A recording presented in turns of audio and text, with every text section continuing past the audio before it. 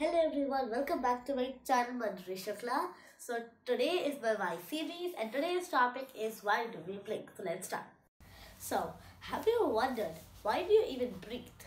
Well, breathing and blinking are one of your body's reflexes.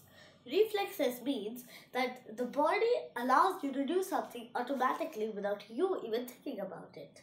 Like, have you ever paid a visit to the doctor and the doctor hits your knee with a hammer and then your knee just automatically kicks like that? Well, that is a reflex. When you blink, your body is telling you to blink to remove the particles and dust things away from your eyes. So, when you go out to play a sport and somebody just throws a ball at you without you paying attention, your body tells you to just close your eyes. That is a very important reflex because your eyes are one of the most delicate parts of your body and while closing your eyes, you are protecting it from the ball. Just like that, blinking is a reflex to protect your eyes from any dust particles. Have you ever gone out in a very windy day and your eyes just keep blinking all the time?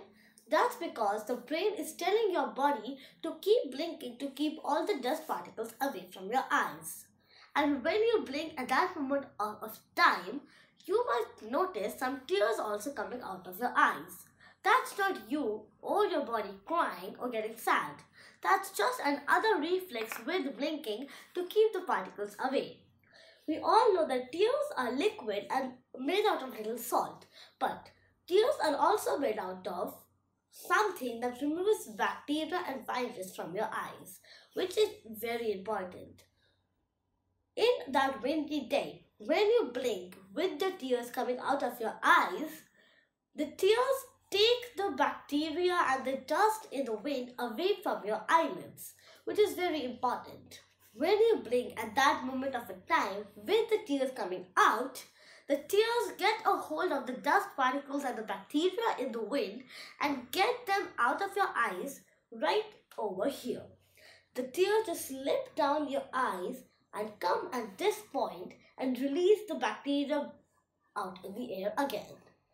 Also, when you blink regularly in your house, the tears also come out just a few drops of tears also come out from the blinking and it carries few dust which was stuck in your eye and it re releases it.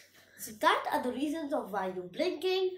Thank you for watching this video on my channel Manjari Shukla Voice of World. Please subscribe, like and hit the bell icon for regular updates.